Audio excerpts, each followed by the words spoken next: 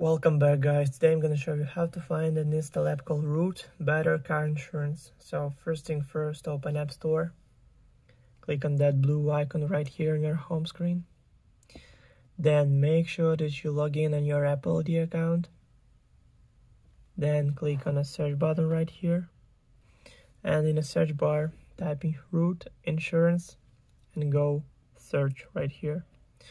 After that, scroll down a little bit until you find the exact app. Click on that, then click Get, then Install, then confirm installation through Face ID or Touch ID or using password from your Apple ID account.